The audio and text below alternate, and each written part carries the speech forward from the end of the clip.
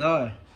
Máy móc Minh Trí xin chào tất cả anh em nhé Ngày hôm nay có nhiều anh em review cho tôi là anh ơi, Cái con súng bắn bu lông bắn gầm ngang top 1 Taiwan này Nó đang bị lỗi. Thì tôi có thử cho anh em. Và đây là kết quả nha anh em nhé Anh em nhìn thấy chưa? Con đầu tiên này. Tiếp đến là con thứ hai nhá. Hai con này là mới 100% anh em có nhìn thấy không?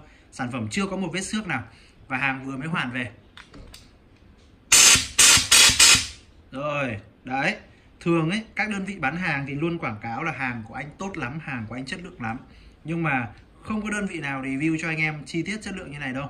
Thì tôi có làm cái video này cảnh báo với cả anh em là cái con top 1 bắn gầm thương hiệu made in Taiwan này nó đang có vấn đề này. Thì nếu mà anh em đang tìm mua cái dòng mua mua cái dòng súng bắn gầm ngang top 1 của Đài Loan này thì anh em chúng ta nên cân nhắc. Bởi vì con này đang có lỗi khá là nhiều. Đấy, đấy, ra khò, ra hơi, nhưng mà không quay.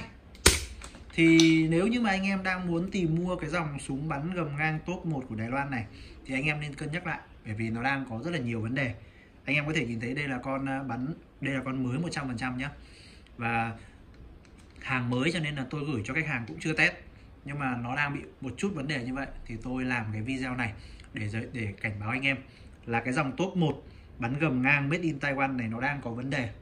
Và nếu như anh em chúng ta mua phải cái dòng mà nó đang có vấn đề ấy, thì nên gửi cho các cái đại lý để họ bảo hành và họ sửa chữa. Tất nhiên là cái dòng này khi mà do lỗi của nhà sản xuất ấy, thì sẽ được bảo hành một đổi một và miễn phí vận chuyển đến tận nhà cho anh em. Nhưng mà khi mà nó có vấn đề như vậy thì trước mắt chúng ta nên tránh ra.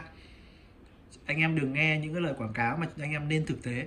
Tôi thấy con này nó đang có lỗi thì tôi review cho anh em đấy cho nên là anh em chúng ta hết sức cảnh giác nhé con này à, giá trên thị trường nó khoảng hơn một triệu một chút. Đấy nó khoảng tầm một triệu năm một triệu sáu là không có đầu khẩu. Nhưng mà mới 100% mà nó có vấn đề như vậy ấy, thì thường ấy là chúng ta nên chọn lựa những cái thương hiệu khác vì nó đang có vấn đề rồi. Đấy mọi chi tiết đặt hàng thì anh em vẫn liên hệ với cả bên mình nhé là máy móc minh trí.com hoặc là minh trí máy móc.com bên mình sẽ review chi tiết cho anh em cái dòng nào bán ok, cái dòng nào đang bị lỗi, để anh em chúng ta tránh những cái ảnh hưởng không tốt đến cái công việc của anh em. Bởi vì là bản thân tôi bán hàng ấy, con nào lỗi là tôi biết à. Con nào lỗi là tôi biết.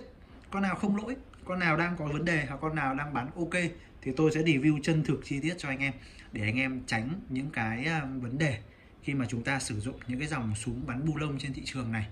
Có những lô thì bắn rất là ok nhưng mà có những lô thì nó lại có các vấn đề như vậy thì nó không hay.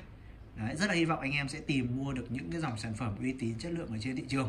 Còn cái dòng top 1 bắn gầm thương hiệu của Đài Loan này nó đang có vấn đề. Thì tốt nhất là anh em chúng ta nên dừng lại và chọn những cái mẫu sản phẩm khác nhé.